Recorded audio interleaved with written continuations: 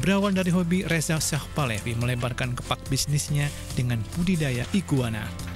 Jeli memanfaatkan curug pasar pria muda asal Palembang, Sumatera Selatan tersebut meraup jutaan rupiah per bulan dari budidaya satwa reptilia tersebut. Di pekarangan rumah, Reza membudidayakan iguana asal El Salvador dengan cara mengawinkan induk yang ia pelihara selama 9 bulan. Hasilnya, telur demi telur menetas hingga mencapai 300 anakan iguana. Untuk penetasan telur, Reza menggunakan inkubator mini buatannya.